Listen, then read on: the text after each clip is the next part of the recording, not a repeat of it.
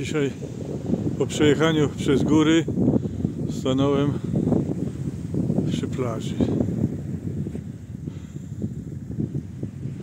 No i tak to wygląda.